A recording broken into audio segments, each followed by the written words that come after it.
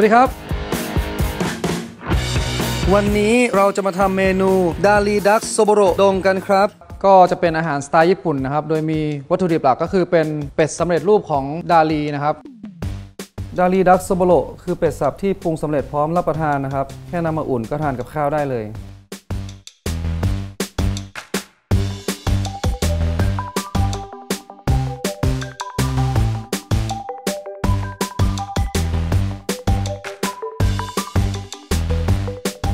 มาเริ่มกันเลยครับใช้แค่กรีบเดียวนะครับ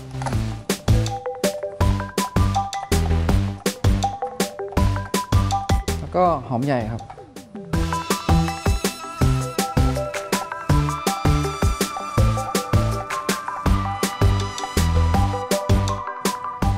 แล้วก็พริกเหลืองนะครับ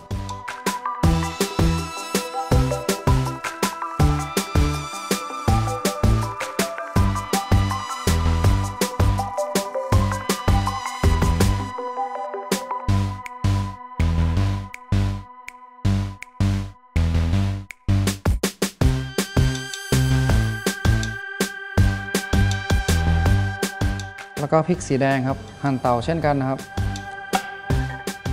แค่ครึ่งเดียวพอนะครับ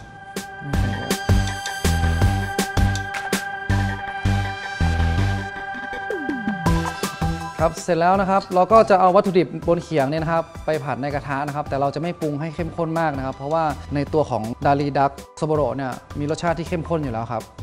พอกระทะเริ่มร้อนแล้วก็ใส่เนยนะครับต้องเยอะนะครับ อเนยเริ่มละลาย เราก็จะใส่กระเทียมลงไปตามด้วยเกลือเล็กน้อย เพื่อให้ผักคลายรสชาติออกมานะครับ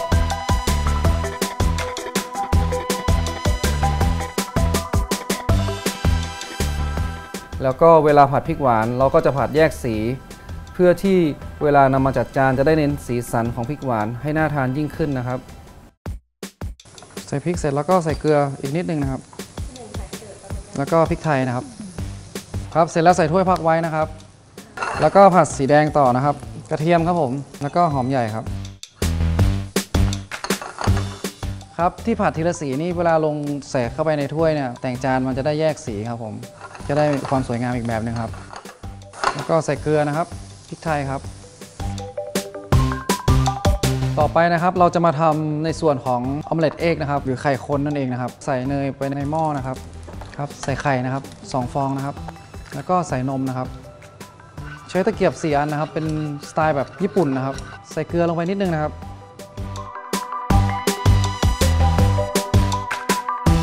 ตอนนี้เริ่มเซตแล้วนะครับ คอยคนไว้นะครับ อย่าให้ไหม้นะครับผม คนไปเรื่อยๆนะครับ พอมันร้อนมากก็ยกออกนะครับ texture มันก็ต้องเป็นนิ่มๆนะครับ นุ่มๆนะครับ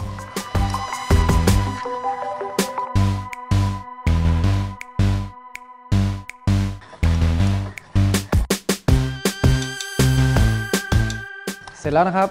ประมาณนี้นะครับ ต่อไปนะครับลวกถั่วในน้ำเกลือนะครับ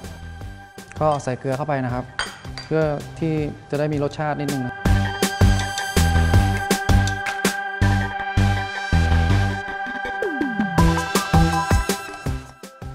ต่อไปขั้นตอนสุดท้ายก็จะเป็นดาลีดักโซบโลนะครับ เป็นเป็ดสับปรุงสำเร็จพร้อมรับประทาน วิธีการละลายที่ถูกต้องคือนำมาชิลไว้ข้ามคืนนะครับ แต่ถ้ารีบเร่งก็สามารถใส่ไมโครเวฟได้เลย แต่เมื่อคืนผมละลายมาแล้ว ก็จะนำมาอุ่นในกระทะนะครับ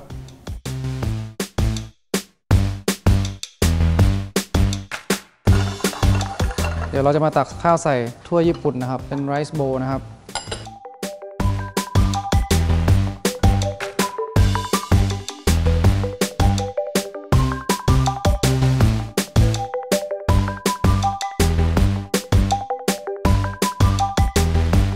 ร้อยแล้วครับสำหรับเมนูดารีดักสโบโลดง สีสันน่าทานไหมครับ รับรองว่ารสชาติอร่อยแน่นอนสำหรับเมนูนี้ทำได้ไม่ยาก เพราะเรามีดารีดักสโบโลที่มีรสชาติกลมกล่อมอยู่แล้ว ซึ่งถ้าทานกับเครื่องเคียงที่มีรสชาติเบาๆก็อร่อยแล้วครับ มาทานกันเลยดีกว่าครับ